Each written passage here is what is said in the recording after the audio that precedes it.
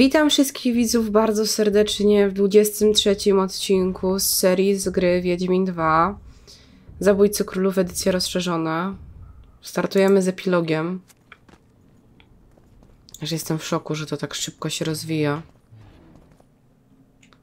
W porównaniu do jedynki to naprawdę bardzo szybko.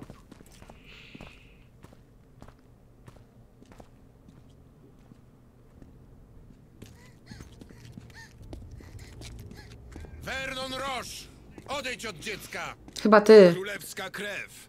Temerska! Za dobra dla was, psie syny!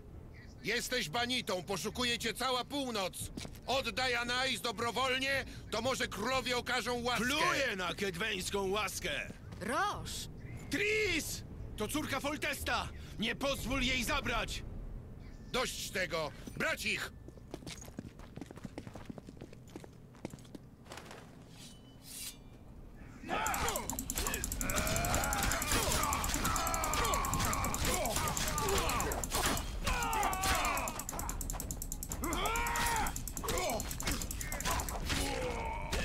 Tam są jeszcze.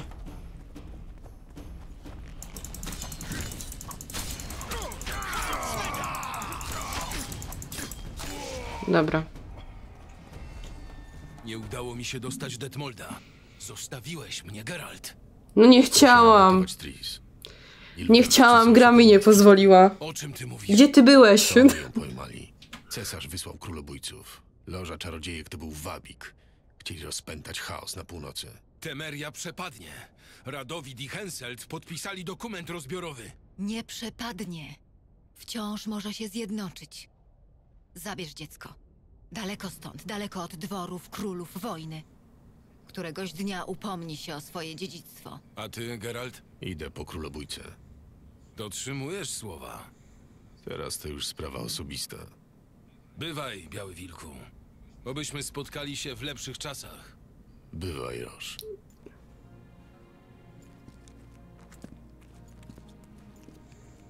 Roż. Bohater. A co z Jorwetem? Wyznaczono kolejną, jeszcze większą nagrodę za jego głowę. Oddziały specjalne do polowań na wiewiórki mają dostać spore dofinansowanie. Rada i kapituła oddelegują kilku czarodziejów do tego zadania. Jorwet stał się wrogiem publicznym numer jeden. Nie spoczną, dopóki go nie dostaną. Mhm.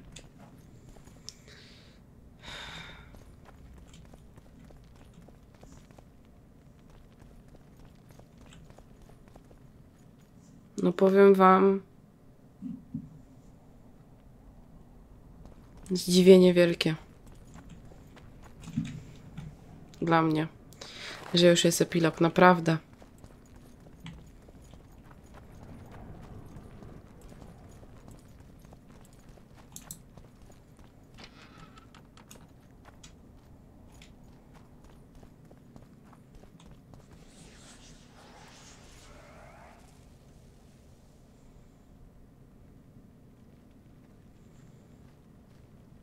To nie jest miejsce dla Wiedźminów, chociaż znam cię i wiem, że pojawiasz się wszędzie tam, gdzie się coś dzieje.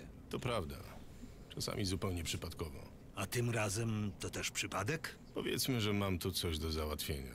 W takim razie się pośpiesz. Kiedy skończymy sprzątać bałagan, który zostawili królewscy żołdacy, Loch Muin zostanie magicznie zapieczętowane. Wynosicie się stąd? Tymczasowo. Wkrótce wrócimy, żeby odbudować miasto. Loch Muin odzyska dawną świetność. Do tego czasu nie chcemy, żeby pętali się tu awanturnicy i łowcy skarbów. Radowid wam zaufał? Zdobędziemy jego zaufanie, kiedy doprowadzimy przed królewskie oblicze Sheila de Tancarville i pozostałe zdrajczynie z loży. To może potrwać. Sheila uciekła z Lokmuin, korzystając z megaskopu. Mamy czas. Nie będzie się ukrywała wiecznie. W końcu wpadnie w nasze ręce. Wybacz, ale nie mogę poświęcić ci więcej mojego czasu. I śpiesz się, za godzinę miasto zostanie zapieczętowane. Okej. Ech. Możesz zapisać grę Geralt, dziękuję. Boję się. Siedzi tam. Kuźwa. To on, Poczekaj na mnie. Geralt. To sprawa między mną a nim. Nie musisz. Muszę. On wie, jak straciłem pamięć. Czekaj na mnie przy bramie miejskiej. Jeśli nie wrócę w ciągu godziny, ruszaj w drogę beze mnie. Fuck, fuck, fuck. No ale to...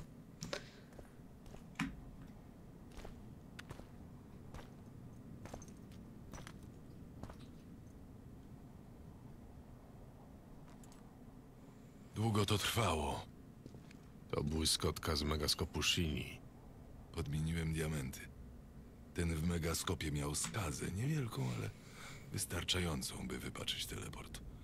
Cesarscy teoretycy magii zapewnili, że efekt będzie spektakularny. Pozwoliłem jej uciec. Jesteś bez serca. To, co jej zrobią królewskie tajne służby, będzie znacznie boleśniejsze i długotrwałe. Zapewne. Jesteś gotów odkryć kartę? Każdej grze prędzej czy później przychodzi taki czas. Lubię ten moment. Ale najpierw... Wódki?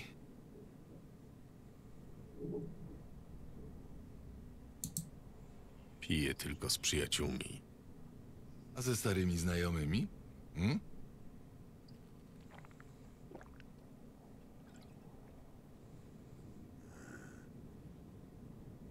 Odzyskałeś pamięć? Nie całkiem. Pamiętasz, jak się spotkaliśmy? Uratowałem ci życie. Ładnie mi się odpłaciłeś. Jak mógłbym odpłacić się lepiej? Zająłem się twoją kobietą, Jen. Słucham? Ja nie rozumiem, co w niej widziałeś, ale jak mawiają de gustibus non est disputandum. Przesilenie zimowe 1270. Midinvern. Noc magii. Leto nie kłamał. Gon się zatrzymał. Pod drzewem wisielców upiorni jeźdźcy dokonywali selekcji porwanych. Wśród nich była Yennefer. Nie da się zabić upiora. Można go co najwyżej przegnać. Wie to każdy wiedźmin. A jednak jeźdźcy padali pod ciosami wiedźmińskich kling. Spod trupich pancerzy lała się czerwona jucha. Nie mieliśmy szans zabić wszystkich. Było ich zwyczajnie za dużo. Patowa sytuacja. Był inny niż wszystkie elfy. Nie miał wstydu w spojrzeniu. Nigdy nie cierpiał prześladowań. Nie przeżył pogromów. Ludzie nie zabrali mu ziemi. Ten elf nie mógł pochodzić z tego świata. Był najeźdźcą. Dobiliśmy targu. Moja dusza w zamian za duszę Yennefer. Zgodził się bez wahania.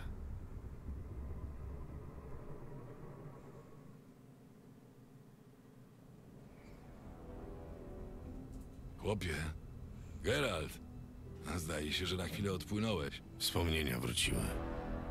Pamiętam drzewo wisielców i dziki gon.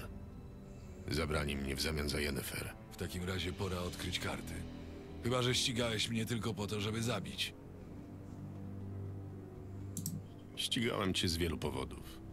Jesteś mi winien wyjaśnienia. Niech będzie, że jestem.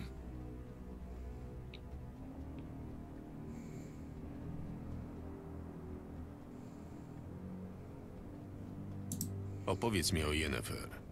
Co się stało po moim odejściu? Miotała się w gorączce przez kilka dni, bredziła. Myśleliśmy, że nie wyjdzie z tego. W końcu doszła do siebie, ale była kompletnie zdezorientowana. Miała amnezję, jak ty. Co dalej? Szybko się okazało, że baba ma charakterek. Dała się nam we znaki. Uwodziła Egana, próbowała nas poróżnić. Po tym, jak się poświęciłeś, głupio było ją po prostu zostawić samą sobie. Nie przeżyłaby miesiąca.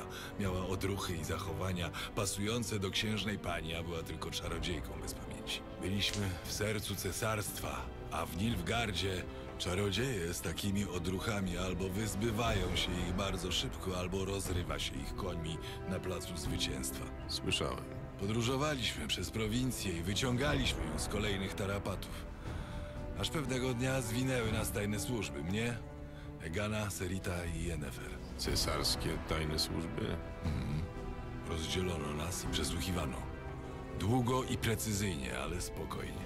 Bez przemocy. Tak poznałem Watiera de Rido, a parę tygodni później samego cesarza. Ja, prosty wiedźmin. Co z Yennefer? Nie widziałem jej więcej.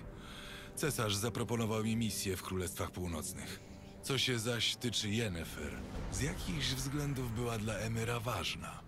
Podejrzewam, że to właśnie od niej dowiedzieli się o loży. Cesarski wywiad ma swoje sposoby. Wiem tylko, że Yennefer była w pałacu pod ciągłą obserwacją ludzi Watiera. Później pojechaliśmy zabijać królów północy. Więcej nie wiem. Zatem jest w cesarstwie. A przynajmniej była, gdy wyjeżdżałem. To samo powiedziała Sheila. Skąd wiedziałeś, gdzie znajdziemy dziki gon? Każdy wiedźmin noszący na szyi wężowy medalion zna to miejsce. Kiedyś nawet myślałem, że moją szkołę założono specjalnie po to, by rozwiązać zagadkę upiornych jeźdźców. Wiesz, kim naprawdę są jeźdźcy dzikiego gonu? Z tego co zrozumiałem, to były jakieś cholerne elfy. Wszystko okazało się wielkim oszustwem. Legendarny zwiastun wojny jarmarczną sztuczką. Zapewniam cię, że żaden bazarowy magik nie jest w stanie stworzyć orszaku widm, pędzącego po niebie, ani wywołać amnezji. Oświeć mnie zatem. Dziki gon to fakt. Sam odpędzałem i zabijałem upiory gonu. To duchowa emanacja awatary prawdziwych jeźdźców.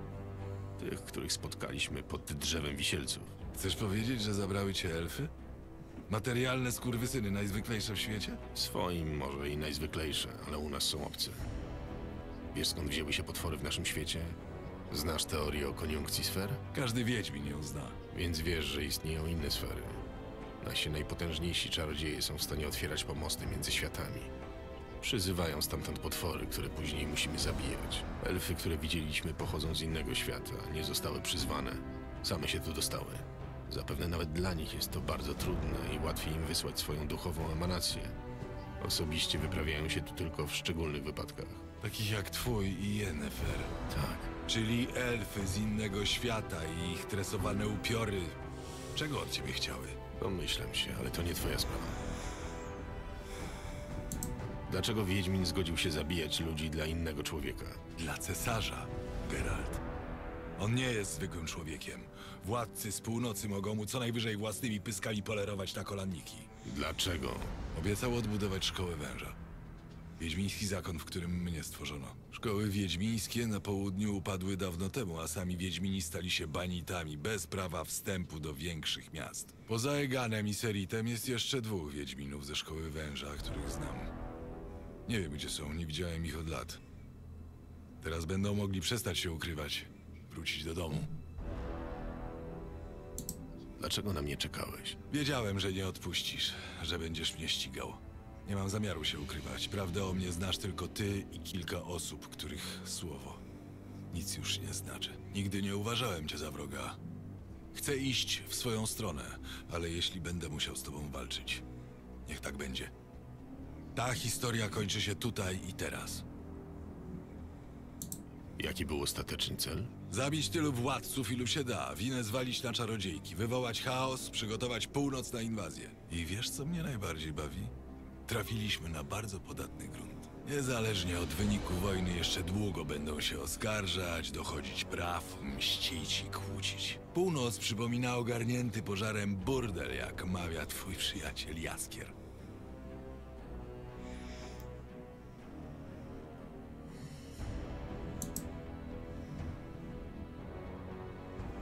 No kurde, powiem wam, że dużo jest tych pytań, to będzie naprawdę gadany odcinek. Ale przynajmniej wszystko się rozjaśni teraz. Jak skontaktowałeś się z Shilą? Gdy już dowiedziałem się o loży, nie było większych problemów. Na początku patrzyła bardzo uważnie na każdy mój ruch. No wyglądam jak wyglądam. I jeśli tego chcę, każdy prędzej czy później zaczyna mnie traktować jak tępego osiłka. Kręciłem się wokół Shili i zabiłem dla niej parę bestii. Marudziłem, że jestem nieszczęśliwy, że świat jest niesprawiedliwy. Zadbałem też, by kilku wiarygodnych świadków mogło nas powiązać. Takie zabezpieczenie na przyszłość, gdyby mnie złapano. Jednocześnie przygotowywałem się do zamachu na władcę Kowiru. Pierwotnie to Esterat Tysen miał być pierwszą ofiarą tajemniczych zabójców. No zanim do tego doszło, Sheila zleciła mi zabójstwo Demawenda. Los się do mnie uśmiechnął. Już nie musiałem jej wrabiać, wystarczyło tylko wykonać zlecenie i pójść za ciosem. Skąd wiedziałeś o loży? Od cesarza i Watiera de Rido, cesarskiego arcyszpiega. A oni wyciągnęli to z Yennefer. Odzyskała pamięć? Nie mówię, że świadomie to niosła na koleżanki. Podejrzewam, że znaleźli sposób, by dobrać się do jej wspomnień bez jej wiedzy. Przy moim przesłuchaniu był też czarodziej. Młody, dumny oficer wywiadu. Dostarczono mi listę czarodziejek zasiadających w loży. Przy rozmowie był sam Emir, Watier i ja. Tylko oni wiedzieli o misji. Jak udało ci się zabić Demawenda? Dzięki czarom Shili. Znaliśmy każdy jego ruch, zwyczaje i zachowania straży. Wszystko. Pozostało tylko zadać ostateczny cios. Mieliśmy bardzo komfortową sytuację. Ale i tak było ciężko. Ledwo uszliśmy obławie. Gdyby nie skojatel Jorweta, znów pomysł Shili, nie udałoby się. A tak nie dość, że udało się zabić Demawenda, to jeszcze byliśmy kompletnie poza zasięgiem loży i mogliśmy zaplanować zamachy na Foltesta Henselta. No ale na Henselta się nie udało. Skąd wiedziałeś, że Foltest przyjdzie do klasztornej samotni? Plan zabicia Foltesta ułożyliśmy z Jorwetem. Król Temerii nie krył się z tym, że zamierza rozprawić się z lawaletami. Byłem pewny, że będzie chciał zabrać bękarty, a gdzie chowają dzieci w czasie oblężenia, jak nie po klasztorach.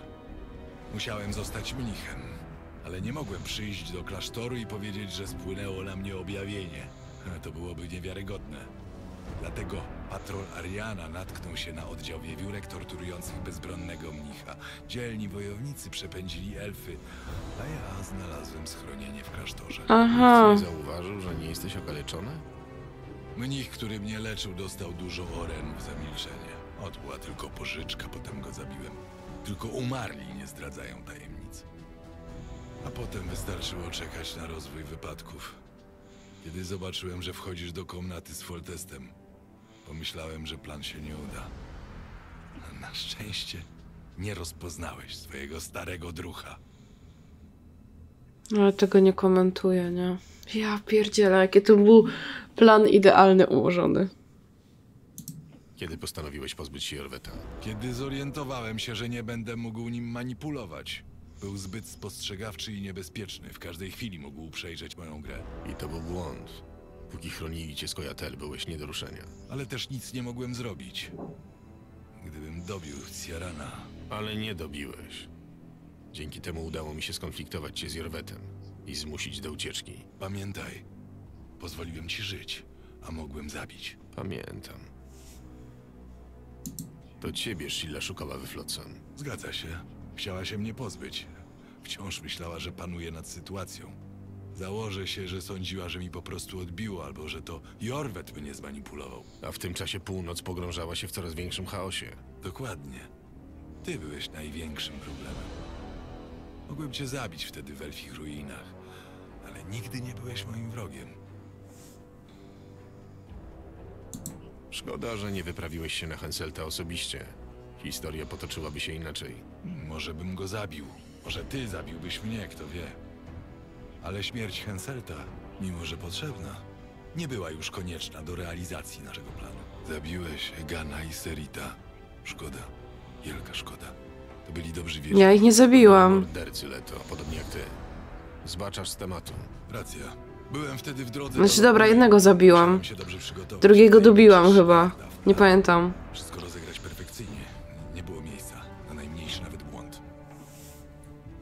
Najważniejsze. Aha, to tyle. To czyli koniec.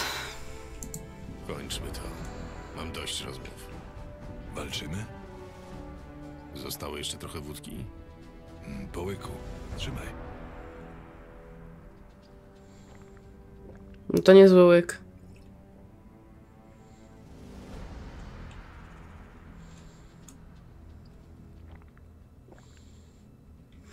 Słuchajcie, to nie jest łyk.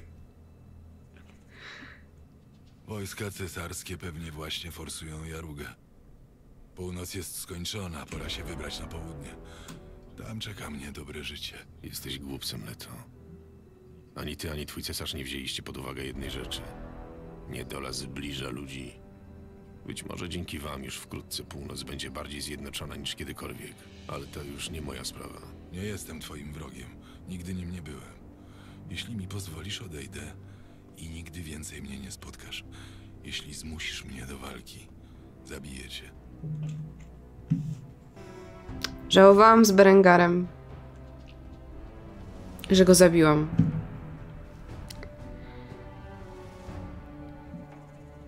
Nie chcę żałować, że zabiję Leto. Wiadomo, podszył się pode mnie i tak dalej, ale wszystko jest już wyjaśnione. Już wszyscy wiedzą raczej, że to nie ja. Więc pogadaliśmy, powiedział mi wszystko. Raczej zamachu na moje życie nie zrobi. Więc może po prostu rozejdźmy się.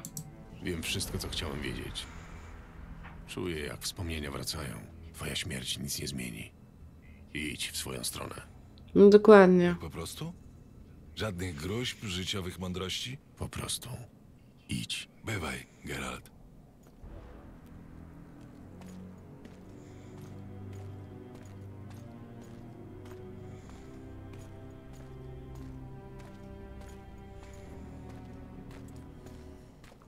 Ciekawe, czy w trójce go spotkamy.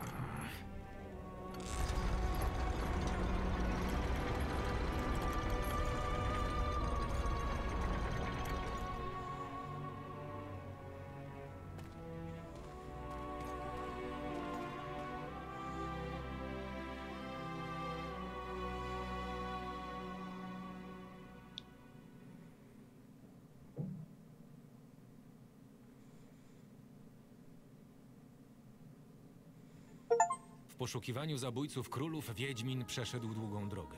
We Flotsam zabił Bernarda Loredo, jednak mało kto opłakiwał komendanta. Flotsam pozostało w rękach temerskich, a władzę nad garnizonem i miasteczkiem przejął pewien szlachcic z Wyzimy, wróg Kedweńczyków i jak mówią zapalony wędkarz. Wiedzcie, że o czynach Wiedźmina do dziś opowiada się przy ognisku w Bindudze. W Edirn Wiedźmin był świadkiem wielkiego zwycięstwa Kedwen. Wojska Saski Smokobójczyni zostały pobite pod Wergen przez armię Henselta, co położyło kres wiośnie ludów. Żołnierze spod znaku jednorożca zajęli Dolinę Pontaru, a górne Edirn, jak przed laty, zostało wchłonięte przez potężnego sąsiada. Mam nadzieję, że Zoltan żyje. Pokazały, że triumf Henselta był krótkotrwały. Czarne chmury nad Temerią gromadziły się już od śmierci Foltesta. Kraina pozbawiona króla była jak kawał sukna, który rozszarpywali między sobą baronowie. Ci drobni padlinożercy pierzchli jednak w popłochu, gdy po zdobycz przybyli drapieżcy. Zjazd w Lokmuin przypieczętował bowiem los Foltestowego Królestwa, które zostało podzielone między Radowida Redańskiego i Henselta, władcę Kedwen. Przed wielu laty Geralt z Rivii był świadkiem upadku Rady i kapituły czarodziejów. Teraz, po wydarzeniach w Lokmuin, obie instytucje zostały przywrócone. W ofierze zostały złożone Sheila de Tancarville i jej wspólniczki. Jednak Radowid wymagał od dumnych czarodziejów również pokory i lojalności. Nie wszystkim to odpowiadało. Były to czasy wielkiej niepewności i zwykłego gwałtu, ubranego w formę królewskich dekretów. W tych niespokojnych dniach my, którzy wpływaliśmy na losy świata, nareszcie zaznaliśmy trochę odpoczynku. Zoltan ruszył do narzeczonej, a ja wpadłem w objęcia mus. Któż mógł przewidzieć, że burza nad Królestwami Północy była ledwie początkiem wielkiej nawałnicy, a także wstępem do zupełnie nowej opowieści o Geralcie z Rivii?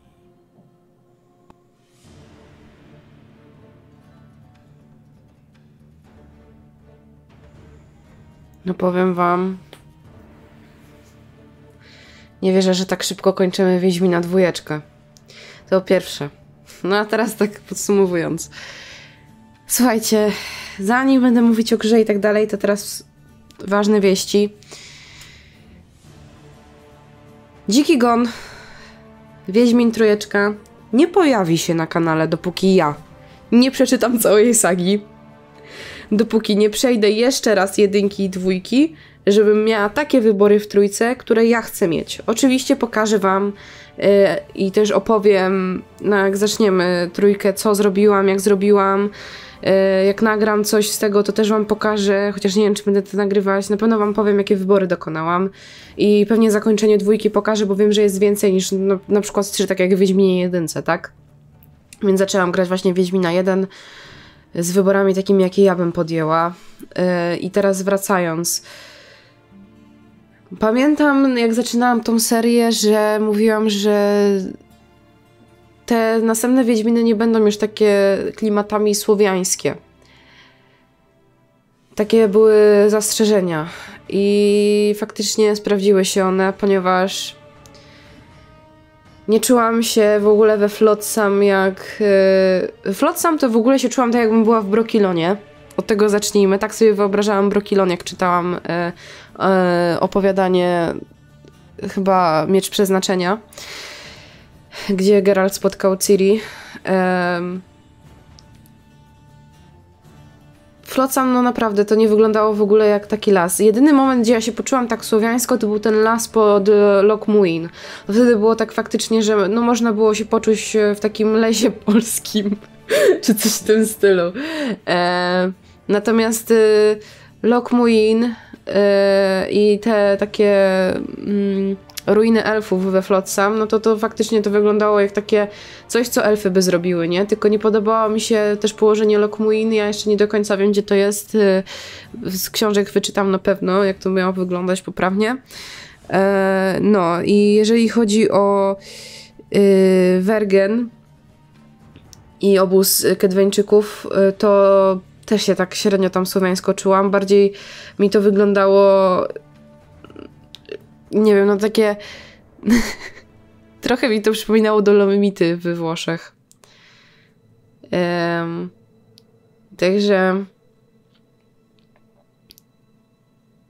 Jeżeli chodzi w ogóle o te przerywniki, co sobie Geralt przypominał, też fajny sposób na tą taką... Um, jak wypędzić go z tej amnezji, tak? No też w ogóle pewnie trzeba było zrobić jakieś tłumaczenie, bo domyślam się po tym już jak grałam te dwie części, że Geralt na końcu pewnie umrze. Ehm, zresztą zostało nam to wprost powiedziane, że zaduszę Yennefer, więc ja to tam będę czytać i wtedy wam powiem pewnie. Ehm, teraz w ogóle przez to, że ja czytam ten czas pogardy, to wam powiem, że w jedynce znajduję takie smaczki, że czasami e, aż mi jest głupio, że tego nie przeczytałam wcześniej. Także na pewno będę się starała robić wybory w jedynce i dwójce e, teraz, jak będę grać jeszcze raz sama, e, bez nadzoru waszego, że tak powiem, to będę starała się robić wybory takiego typowego e, książkowego Geralta, co on by pomyślał, co on by zrobił i tak dalej, a nie tak jak ja czasami też kierowałam się tutaj swoim sumieniem. No i myślę, że. Że. Aha, mogę jeszcze pogadać o y, walce w Wiedźminie Dwójce. Powiem tak. Y, szczerze to nie przydały mi się ani razu te y, pułapki. Może petardy mi się raz przydały tamtego leto. A tak to mi się nie przydało nic praktycznie z tych takich dodatkowych broni, też celety i tak dalej. Da się to przejść na samych znakach i na samym mieczu ale powiem to, tak jak powiedział y, mój chłopak, czyli to jest typowo styl walki robiony pod Xboxa, pod konsolę. Bardzo dużo uników trzeba robić, żeby przeżyć i no nie podoba mi się to za bardzo, ale no dobra, zobaczymy jak będzie w trójce, mam nadzieję, że lepiej. Zresztą trójka tam dostała yy, nagrodę, że to jest gra roku, także zobaczymy jak to będzie wyglądało. He, naprawdę, o Jezu, dziękujemy naszym żonom, mężom, dziewczynom i chłopakom, małym i dużym pociechom, słowem wszystkim naszym bliskim za wsparcie i cierpliwość, jakie okazali nam podczas pracy nad Wiedźminem 2. Ta gra jest również waszym dziełem. O, jest jakie słodkie. Dobra, e, no. Co mogę jeszcze powiedzieć o Wiedźminie dwójce? Historia mnie nie porwała. Chociaż no, ciężko mnie jest porwać, tak szczerze mówiąc. Ciągle mnie mierzi to, że nie było Yennefer, ale wiem, że w trójce będzie już Yennefer i się nie mogę doczekać. Szkoda tylko, że na jedną grę. Także nie wiem, co jeszcze mogę tutaj dodać od siebie. Myślę, że, że chyba nic. Wiem na pewno, że jest tych 12 zakończeń e, Wiedźmina dwójki. Znaczy, tak mi się wydaje, że 12? Coś takiego słyszałam. Pewnie sobie ja zaraz obejrzę wszystkie. Yy, I wiem też, że przeszliśmy drogę Rosza, nie Orweta. Nie wiem, czy mi się chce nagrywać, jak przechodzę jeszcze sobie drogę Jorweta, raczej nie. No. I myślę, że naprawdę to by było już na tyle, tak właściwie. Także dziękuję Wam bardzo, że jesteście w tej mojej przygodzie wiedźmińskiej obecni. Yy, I widzimy się po napisach.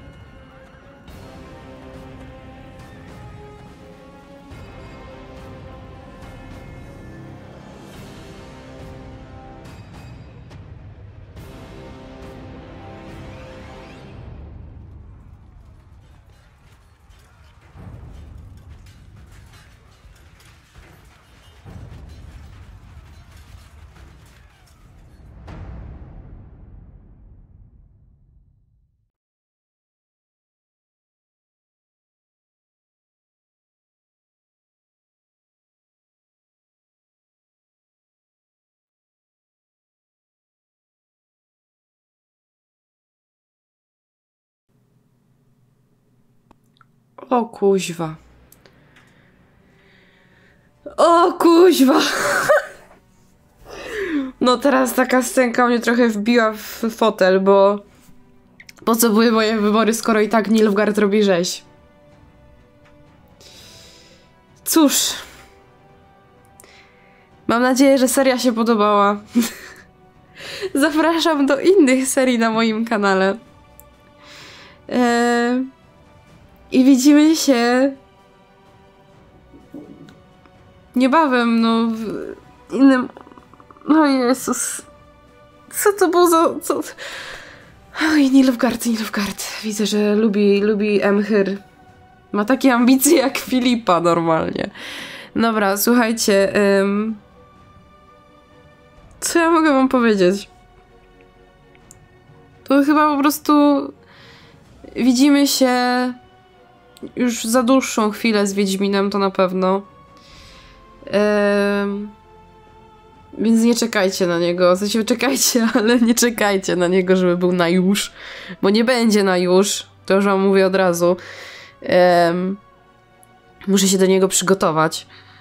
I do zobaczenia, kochani. No, zapraszam do innych serii na kanale i tyle. Pa, pa.